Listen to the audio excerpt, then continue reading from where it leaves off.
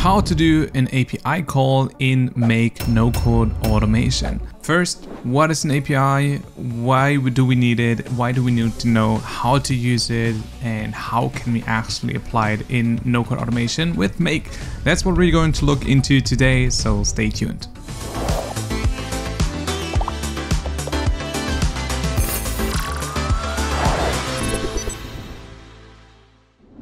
Hey, my name is Manuel and I'm the founder of TechFlow.ai and we love automation. Today, we are going to look into a very hot topic. oh,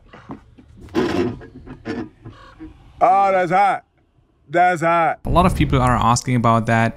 How can you make API calls with Make no code automation? First, what is an API?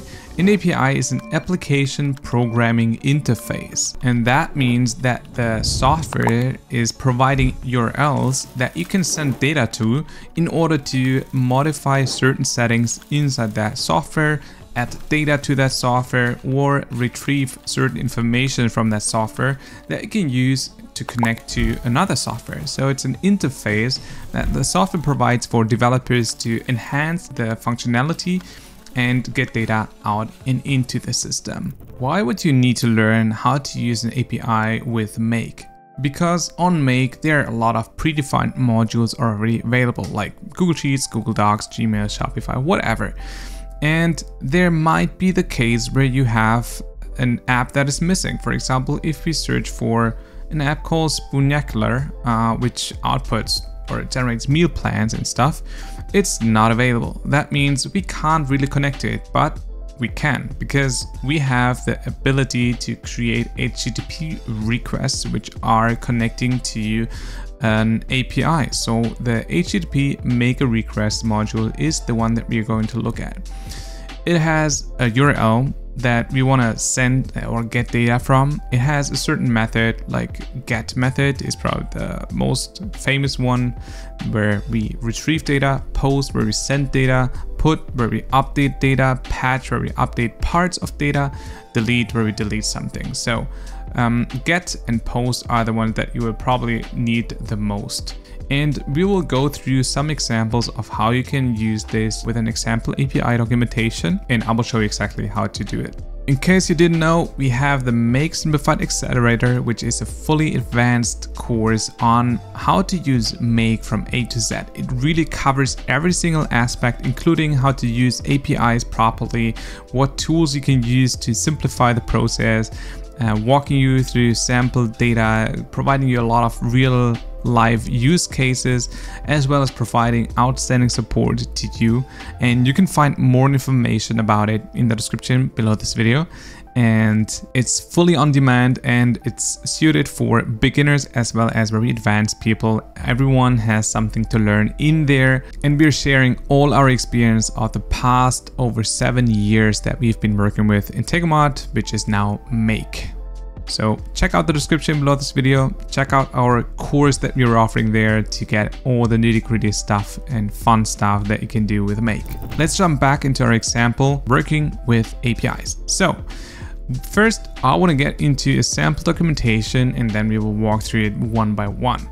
All right, so I've chosen the Spoonacular API because it is free, so you can create yourself an account and you can test it out. It has a free plan over here with 150 points per day, and then like for each request it costs a certain amount of points. So if we check over here, my daily quota is 150 and so far I've used up 4.4 points. So you can just play around, test it and get the nitty gritty stuff of working with APIs. So First, in your profile, you'll find an API key and that is what we're going to need later on. Then we are going to go to the docs, the full documentation. Usually every, every software that provides an API has some sort of documentation at the very bottom of the site or uh, linked at the top like here, docs or there's also a hack that you can use Google with a site search and the mm, domain and then search for API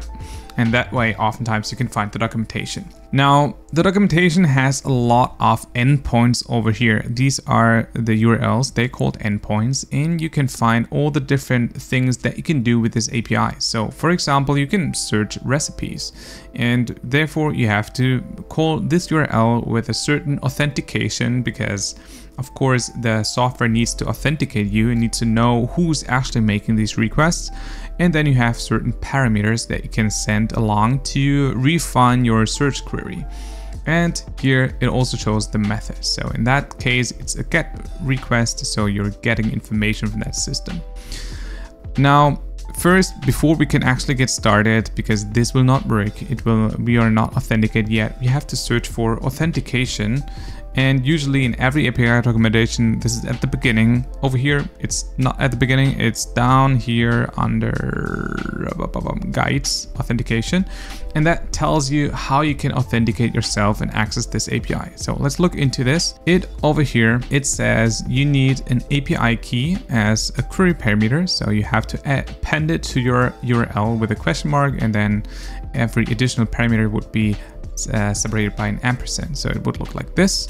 And luckily Make handles that for you. And then please further note that the parameters are case sensitive. So it needs to be API and then the K needs to be uppercase and not like all lowercase. Alternatively, you can also put the API key in the request header as X API key. So both methods work, so you can either use it as a query parameter or in the header as X API key. All right, now let's do that first. In make, we have the URL. Right now, we don't know it yet because we haven't selected a specific one. So here is the header. So whenever you want to add header, you could use it here, add it here, X API key and then paste the API key that you have just created on Spoonacular. So show hide API key and then copy this one. No worries, I will generate a new one after this video. So you can copy and paste it in here and then we are just going to do a very simple request with the first URL. So search the recipes, then we're just going to copy this URL, paste it in here and then one thing I always recommend doing with the HTTP uh, make a request module is to parse the response and set this to yes. So, all right, let's try this out quickly to see if there's any output. It looks good. There's a green here. Uh, that means it's okay. And the status code 200 means everything went good. And we're actually getting recipes out. So here we have an array as output with red lentil soup with chicken and turnips. Sorry, turnips and an image that goes along an ID where you can probably get more details about this recipe. And it has like uh, 10 different recipes coming out of this API.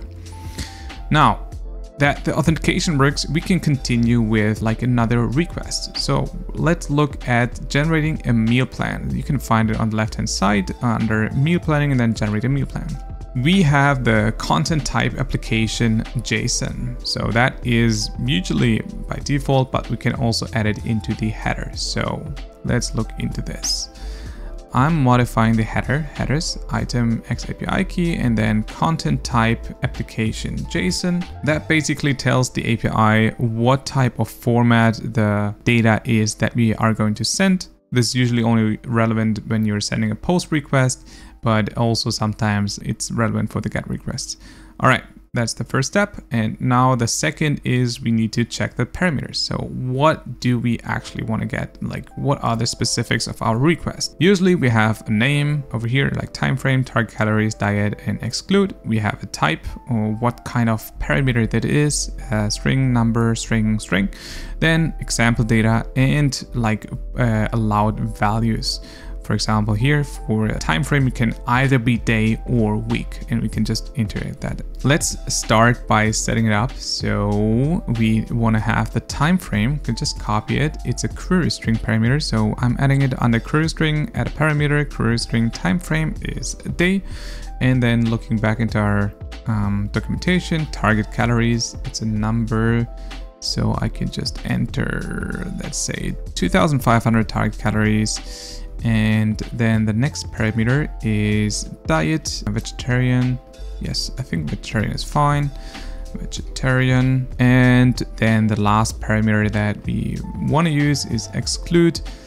Like, oftentimes you don't need parameters at all and it's highlighted if there's any parameter required and those ones you need to include and others are just optional. Over here it seems like all parameters are optional because nothing is specifically highlighted and therefore we could use it but we don't have to. I want to exclude olives and maybe crab.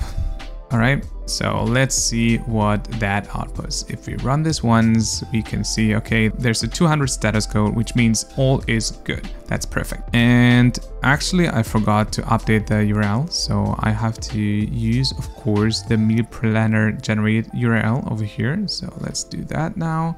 Save, okay, and run this and it still outputs 200 so that's good. And our collection meals we have finger foods frittata muffins pasta with feta cheese and asparagus and we have quick veggie stir fry. All right so that outputs three meals and then even the nutritions are being shown for calories protein fat and carbohydrates.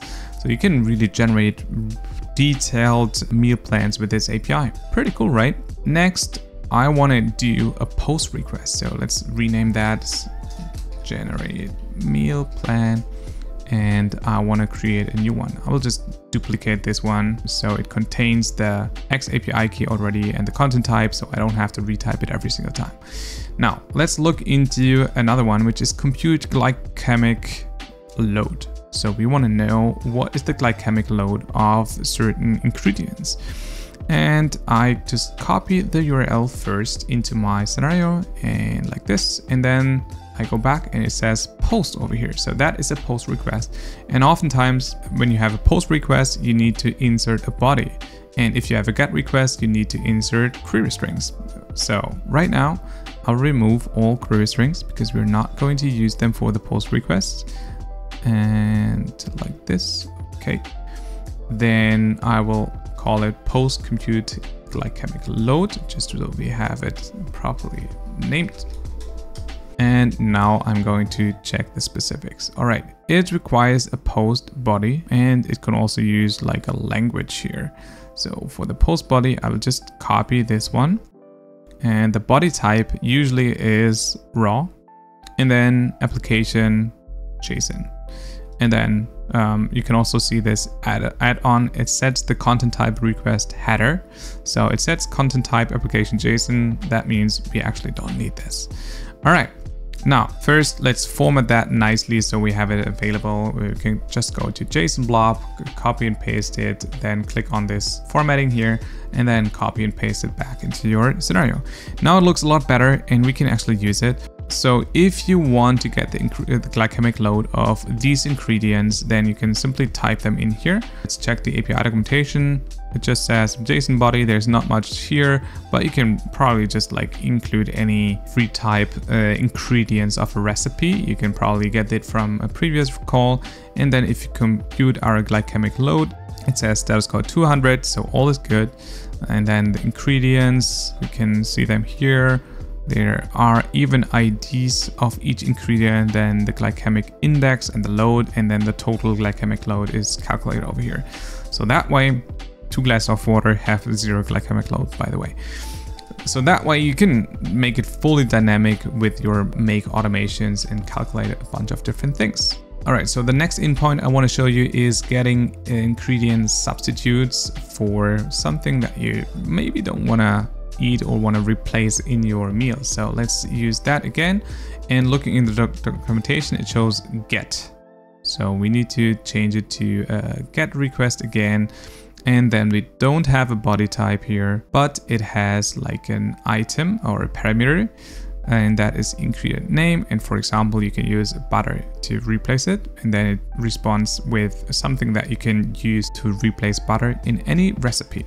So let's say ingredient name and we want to replace butter and then press OK and we rename it accordingly.